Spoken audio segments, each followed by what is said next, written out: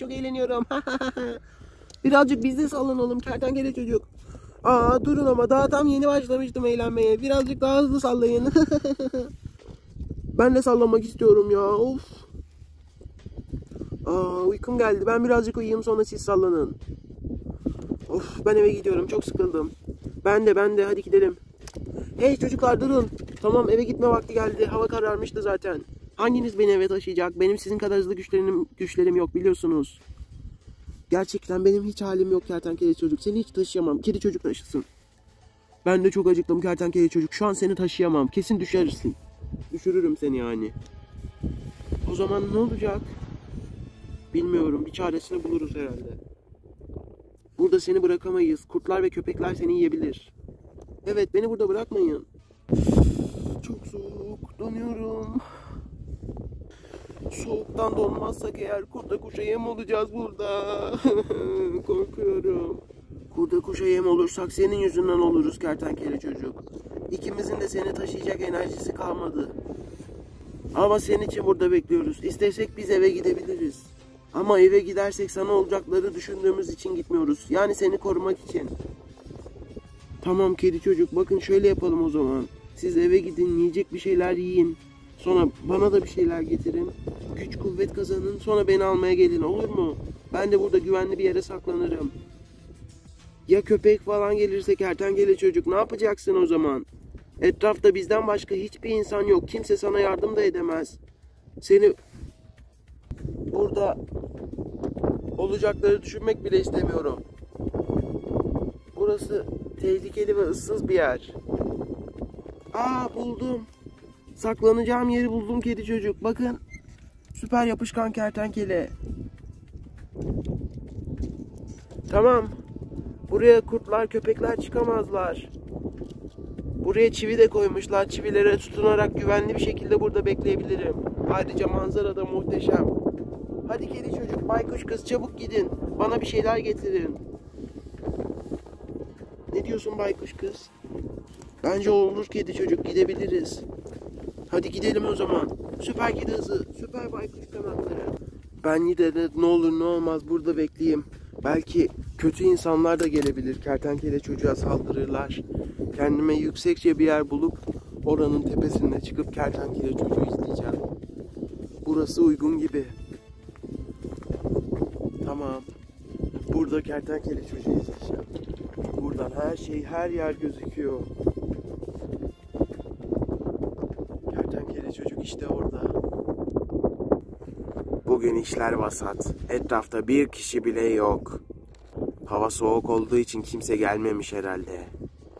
Ama bir kişi bulsam bile onu çok iyi değerlendireceğim. Kimse yok mu? Hey! Aa Romeo değil mi o? Ne yapıyor burada? Kurda kuşa yem olacak. Onu uyarmalıyım. Hey Romeo buraya gel. Buraya doğru gel. Yukarıdayım. He bu ses de ne? Nereden geliyor bu ses? Çok tanıdık bir ses. Nereden geliyor sesin? Hey seni göremiyorum. Seni duyuyorum ama göremiyorum. Yukarı bak Romeo yukarıdayım. He? Hey kertenkele çocuk bu sen misin? Evet Romeo benim. Ne yapıyorsun aşağıda? Çok tehlikeli burası. Hemen yukarı çık. Yukarı nasıl çıkacağım ben? Hem benim için tehlikeli değil ki. Benim kendime ait köpeğe dönüştürme dönüşüm tabancam bile var. Kimse bana bir şey yapamaz. Benim için endişelenme. Sen aşağı gel. Karnın acıkmıştır. Sana sıcak çay, kahve, sıcak çikolata ne istiyorsan vereyim. Burada benim mekanım var. Ne? Hemen geliyorum o zaman. Oh ayağım sıkıştı. Süper yapışkan kertenkele.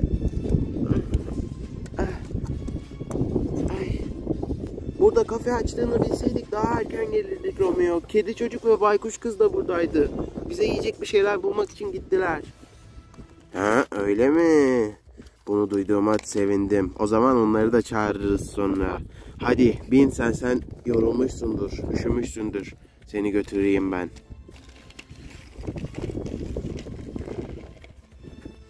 İşte geldik. Şimdi buradaki vitaminli şeker haplarımdan bir tane ye bakalım. Seni kendine getirir. Direkt yemek yersen eğer hazımsızlıktan mide ağrısı geçirirsin. Gerçekten mi? Ben uzun süredir aç değilim ki sadece bugün bir şeyler yemedim. Sen beni dinle ye ye hadi. Ondan sonra sana sıcak çikolata ne istersen getireceğim zaten. Bakayım. Hmm, bunlar da güzel gözüküyor. Of çok kötü kokuyor Romeo. Ye hadi ye. Yemek istemiyorum. Bunun içine ne koydun sen Romeo? Uyku iksirlerim işe yaradı. Şimdi burada bir bebek gibi uyuyacaksın ve kimse de şüphelenmeyecek. Çünkü bir bebek gibi uyuyacaksın bebek arabasında. Şimdi kedi çocuk ve baykuş kızın gelmesini bekleyelim. Ama kertenkele çocuğu asla görmemeliler yoksa tuzak olduğunu anlarlar. Seni uzak bir yere götürelim şimdi. Gel bakalım.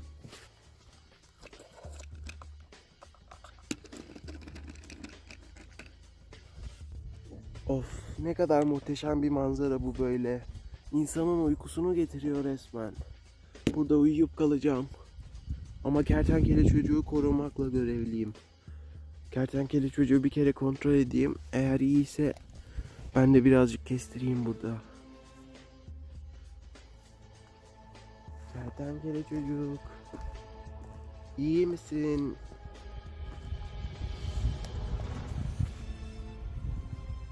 Kertenkele çocuk. Olamaz. Nereye kayboldun? Burada beklemeni söylemiştik sana. Of. Başımıza iş açtı şimdi. Seni nerede bulacağım kocaman arazide? Her yerde olabilir şu an. Her yerde. Uçurumdan aşağı yuvarlanmış bile olabilir.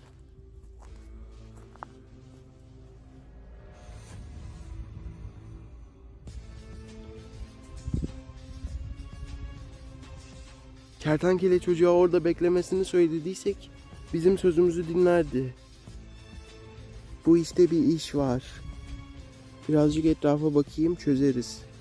Evet onu uzakta aramamalıydık. Bunu düşünmüştüm. Birisi ona inmesini söylemiş olmalı. Tam düşündüğüm gibi Romeo. Hey ne yapıyorsun burada? Şşş baykuş kız sessiz ol. Kertenkele çocuk yeni uyudu. Ne? Nasıl yani? Bebek arabasında uyumayı kendisi mi kabul etti? Kertenkele çocuk bebek gibi gözüküyorsun.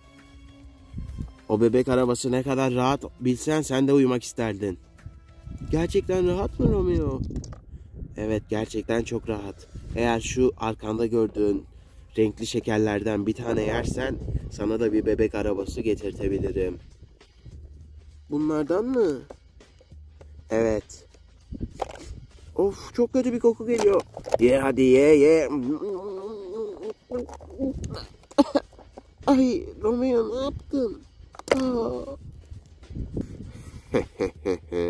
Uyku haplı şekerlerimden baykuş kıza da getirdik. Geriye bir tek kedi çocuk kaldı. Baykuş kızı şimdi dikkat çekmeyecek bir şekilde bebek sandalyesine yerleştirmeliyiz. Gel bakalım. Tamam işte oldu. Kardeş kardeş durun burada böyle. Şimdi kedi çocuğun gelmesini bekleyeceğiz. Ama bu biraz uzun sürebilir galiba. Ben kayboldum ya. Neredeydi bunlar? Bir tane kamelyada olduğumuzu hatırlıyorum ama hangi kamelyaydı? Burada olmadıklarına göre şu karşıdaki kamelyada olabilirler. Of iki saat oraya kim yürüyecek?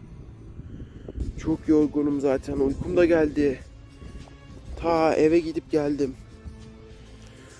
Ay şu toprakta birazcık dinleneyim. Yumuşacık, sıcacık toprak güneş vuruyor bir de. Uykumu getirdi bayağı. Sonra aramaya başlarım bizimkileri. Evet arkadaşlar. Bu videonun sonuna geldik. Bir dahaki videolarda görüşmek üzere. Kanala abone olup videoyu beğenirseniz seviniriz. Bir dahaki videolarda görüşmek üzere. Hoşçakalın.